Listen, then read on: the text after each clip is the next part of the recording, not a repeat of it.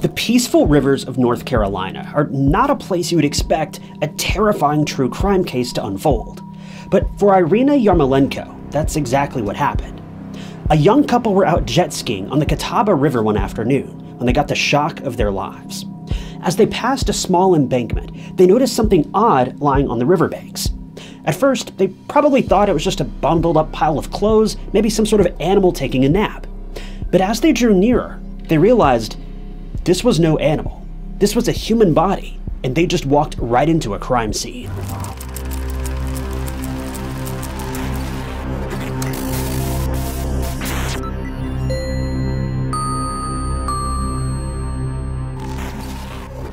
Irina Yarmolenko was known to her friends and relatives as Ira, and they described her as someone who had always had a sunny spirit, and who found it easy to make new friends no matter where she went. She originally came from Ukraine, but in the 1990s, her family fled from the country and headed to the US, eventually settling in North Carolina. Her parents managed to find work in Greensboro and found a home in Chapel Hill where they could live peacefully and raise their kids. In 2008, Ira was studying at the University of North Carolina at Charlotte after graduating from Chapel Hill High School in 2006 and in May of that year, she made the decision to finish out her semester there before planning to transfer to the university's Chapel Hill campus, where she intended on obtaining a public health major. When it came to her studies, Ira was known to be very dedicated and focused, and she also had hobbies of playing tennis and the piano. She also loved to spend time traveling around the country, since she enjoyed learning about the different cultures that she encountered and was also a member of her college's Russian club, helping her remember her roots. She also was a member of the college's newspaper team, where she worked as a photographer and on occasion she wrote a few articles. One of her main goals in life was to help other people, a character trait that was echoed by her brother, who's been quoted as saying, quote, there was nothing bad about her, she was incredible. She was clearly a driven individual who had big plans for the future, and thanks to her nature, it seemed that she was set on the road to success. But Ira's story would soon take a tragic turn as she was robbed of that future in the most heinous way possible when someone took her life.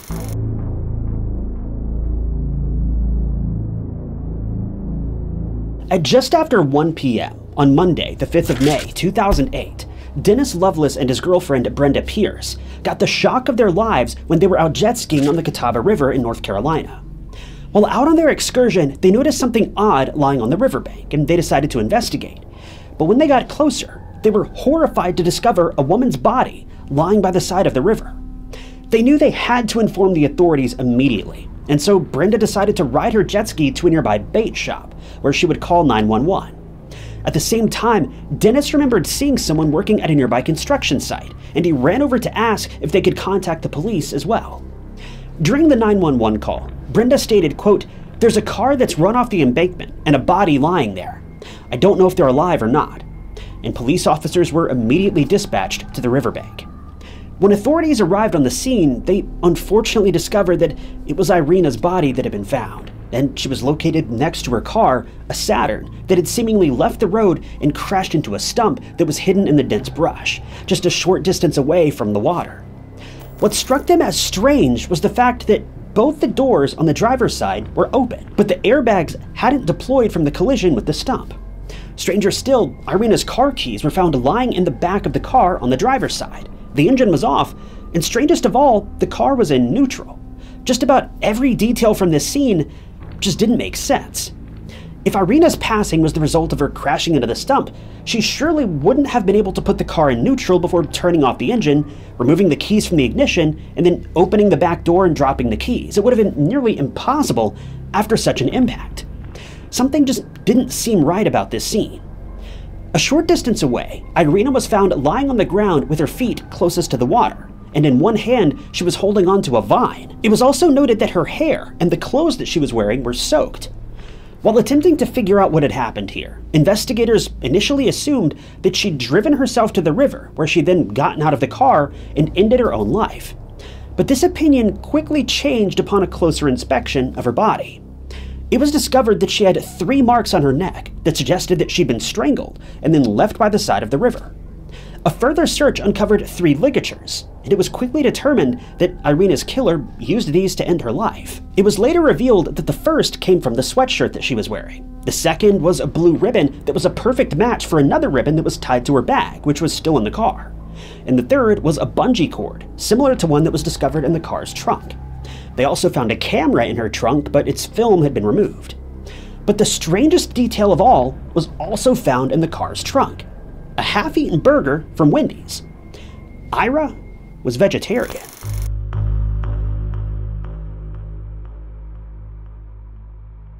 The first order of business was to interview everyone who was present in the area when Irina was discovered. Dennis and Brenda recounted their experience of stumbling across her body and reiterated they were merely out on the river to do some jet skiing. The nearby construction workers added that they'd only become aware that something was wrong once Dennis showed up, asking them to call 911. Several people walked past the scene while it was being processed, and they were also questioned, but no one had seen anything, and they were just as shocked by the discovery as Dennis and Brenda were. But there was one man who'd been present this whole time as he was fishing about 100 yards from where Irina's body was found. 39 year old Mark Carver told investigators that he and his cousin, Neil Cassada, were unaware of anything that had happened and added that he hadn't seen anything suspicious or untoward in the time that he'd spent next to the water. When asked to recount the movements of that day, he stated that he and Neil had arrived at the river at around 11 that morning, and they immediately started getting their fishing equipment ready. They'd been there for about an hour when they became aware of a strange sound further down the river, and Mark described it as sounding similar to a bulldozer scraping along the ground. He gave his and his cousin's information to the investigating officers, after which he left to pick up his daughter, presumably from school. He did return again later that same afternoon, and when asked why he was back, he claimed to have left his fishing net behind, but he was stopped from entering the area. He returned the next day after the area was accessible again, but was still unable to locate his net. Ira's car was then towed away to a secure garage, where it was processed for fingerprints by the Gaston County Police Department. This was done on the 5th and the 7th of May. Strangely, there seemed to be no reason for Ira to be in that area, since it was around 20 miles from her residence, and the only plausible explanation was that she'd traveled to the river with someone she knew, or she'd been forced to drive there by someone who had nefarious intentions. Mark had only given an informal statement at this point, and on the 15th of May, he was asked to provide an official account of his time next to the river. He stated that he saw Dennis and Brenda while they were jet skiing on the water, but added that there was also another boater present. He said that he heard Dennis speaking to the man in the boat, asking him to call 911, but he was adamant that he had no idea that a body had been found until he saw a news story about the case on the news. Since Mark and Neil were the only ones who were in the area when Ira's body was found, investigators decided to take a closer look at their lives and circumstances.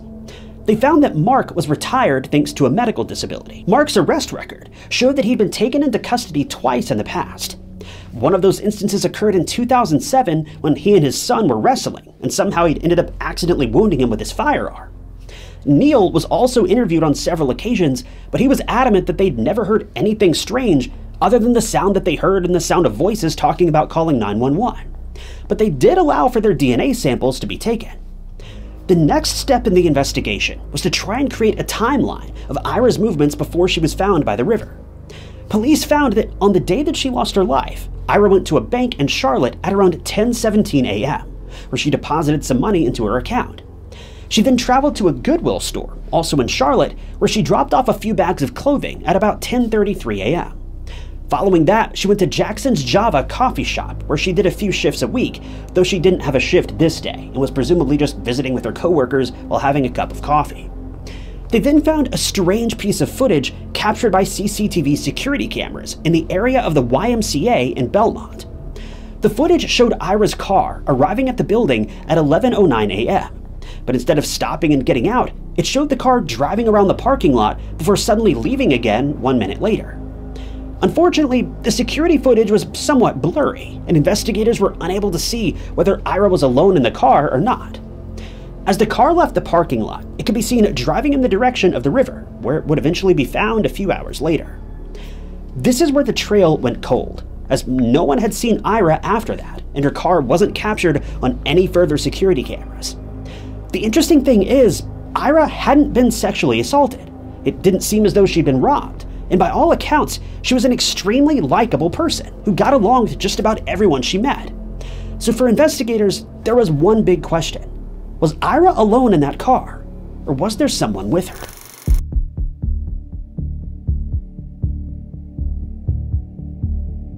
There was some speculation between detectives that this was a crime of opportunity. But even if this was the case, what was the motive for ending Ira's life?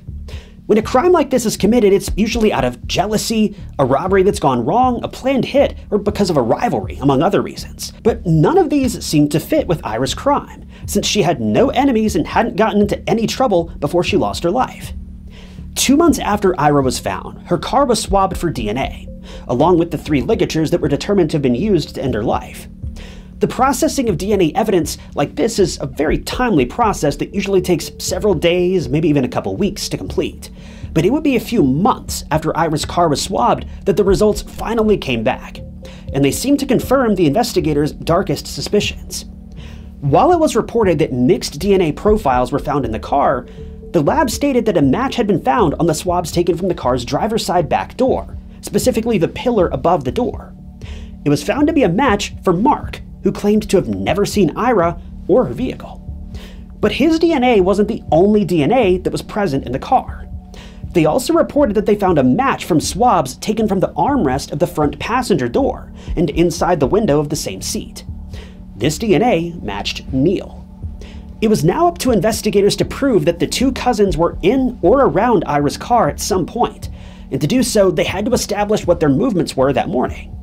They found that the two men had indeed made plans to go fishing that morning, but only met up at the river later on. Mark had traveled to a store where he picked up a salt block that was intended for Neil's goats. Since the block was too heavy for Mark to carry on his own, he asked an employee at the store to carry it to his car. The employee did so and placed it in his car's trunk. Following this, he drove to the College Park Pharmacy, where he dropped off a prescription at 10:52 a.m. He then went to the river, to a spot where he and some of his family members had been fishing in the past. And a short while later, Neil arrived to retrieve the salt block from Mark's vehicle. Neither of the men could carry the block on their own, since Mark had carpal tunnel and Neil was suffering from a heart condition. But they eventually helped each other transfer it from one car to the other. According to Mark's statement, they then heard the strange scraping sound at around noon, and a short while later, Neil left, but Mark decided to keep fishing. He was then approached by a police officer after Ira's body was discovered and was only allowed to leave at around 2:30 p.m. after he'd been interviewed and supplied the police with his identification, as well as his and Neil's contact information. He then drove away from the river and returned to the pharmacy to pick up the medication from the prescription that he'd dropped off earlier that morning. An employee at the pharmacy remembered seeing him that afternoon and told investigators that when Mark arrived, the case was being discussed on a television in the store. Mark told the worker that he'd been at the scene but didn't know anything about the incident other than being told someone had been shot. When he and Neil returned to the river later that day, Ira's car was being removed from the scene, and hence they were not allowed to go to their fishing spot. Considering their DNA was found at the scene, the two men were later brought in for questioning. Neil remained adamant that neither he nor Mark had been anywhere near Ira's car. The interrogators decided to lie to him by telling him that his cousin was in another interrogation room and that he had implicated Neil in the crime. But he remained steadfast in his statement that he had never seen the vehicle in question.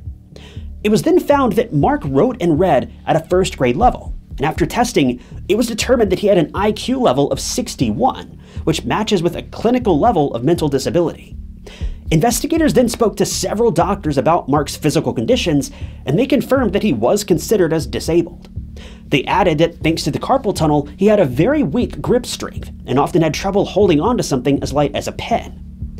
Speaking of the DNA evidence that was found at the scene, DNA other than Ira's was found on all three ligatures that were collected for evidence, but neither Mark's nor Neil's DNA was present.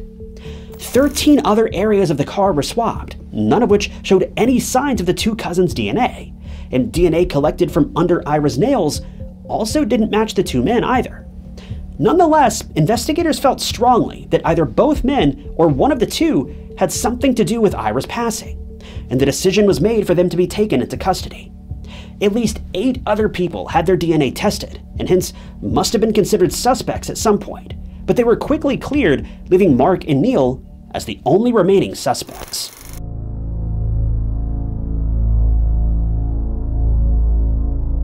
Both men were still adamant that they were innocent, but the trial dates were set, and it would be decided that they would be tried separately after being charged with first degree homicide. Though the day before Neil's trial was set to start, he unexpectedly passed away from a heart attack. Before Mark's trial started, he was given the chance to plead guilty in exchange for a lighter sentence of between four and eight years in prison, but he refused, stating that he couldn't plead guilty to a crime that he didn't commit. And so Mark's trial went ahead. The prosecution made the case that Ira had traveled to the river on her own to take some photos, but while she was there, she caught the two cousins in a compromising position and took photos of them. They claimed that this would have angered the two men, who then decided to end her life before removing the film from the camera, then placing the camera back in the trunk of the car. There was also never any mention of whether or not either man's DNA was found on the camera, or even their fingerprints for that matter. A detective testified that the camera counter showed that two photos had been taken, which he found strange since there was no film inside. He later found out that this particular camera's counter could advance without any film being present, but he failed to mention this in court. But this is where another strange detail in the case arose. The defense was in possession of documents showing that the detectives knew that no film had to be present for the counter to work, but they failed to mention this at all, effectively ignoring a crucial piece of evidence. Basically, they knew that they were lying, or at the very least, stretching the truth, but chose to use this misguided evidence to try to convict this man anyway. Not a good look. At this point, three things were clear in this case. First, Mark was definitely in the area where Ira's life was taken. Second, his DNA was found to be present in the car. And lastly, he had at some point mentioned that he knew how tall Ira was, despite stating he'd never seen her before in his life.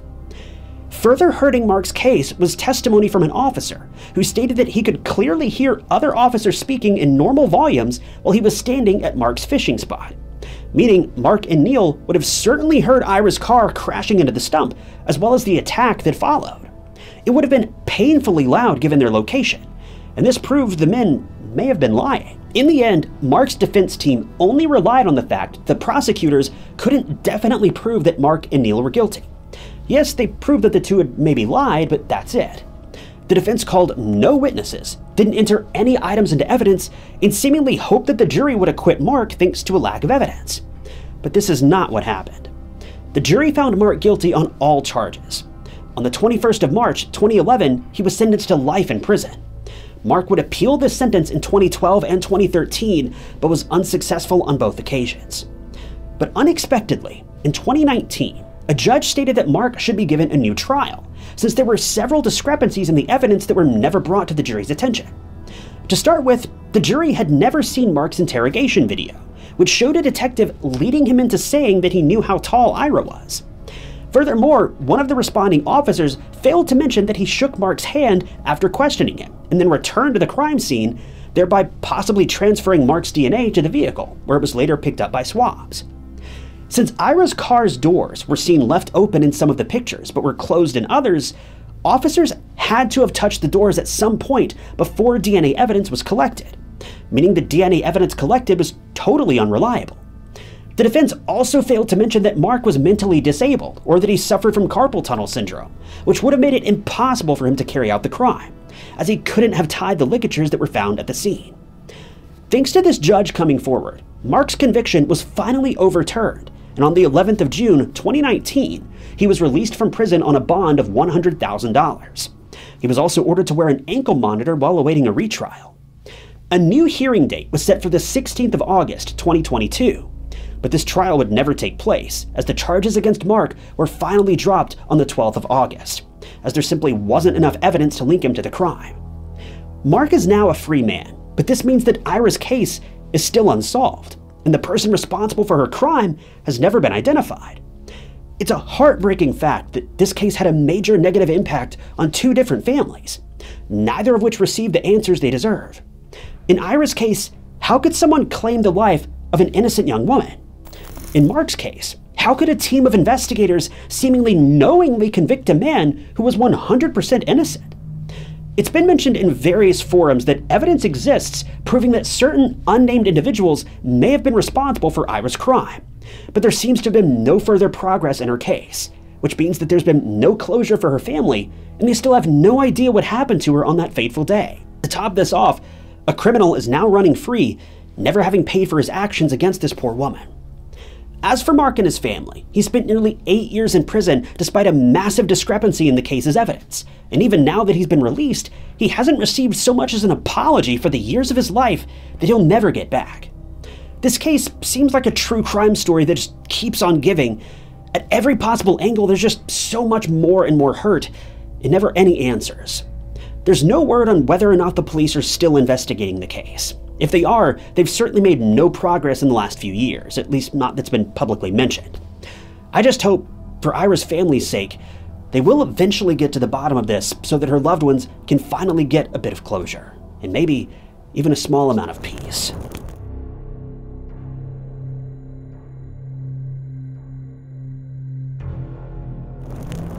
Thank you guys for tuning in to another episode of True Crime Stories. If you enjoyed this video, check out this other interesting case I covered, and don't forget to subscribe. It's totally free and keeps you up to date with all of my future videos. You can also click that join button below to support the channel and see new videos long before everyone else does. But my name is Ty Notts, and I'll catch you guys in the next video.